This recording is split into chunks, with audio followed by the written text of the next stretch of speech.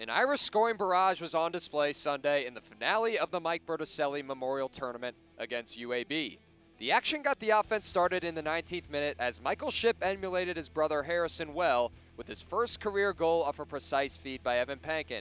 And that was just the beginning. Jon Gallagher had an MVP caliber weekend as he darts in, steals the clearance, and notches his second goal early in the second half.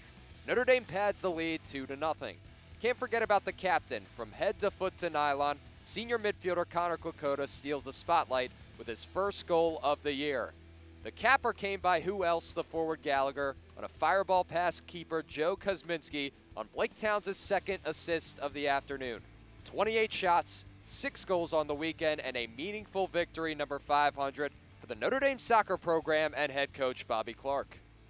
We actually opened the first 10 minutes very well, and then we get sort of complacent. And then I thought the second half we really moved the ball. It was it was fun to watch the second half. But as I say, funnily enough, if that ball that hits the post, if that goes in, it's suddenly one-one, and it's a it suddenly rejuvenates them. We go up the field, we score, put it two, and then in a a very warm day,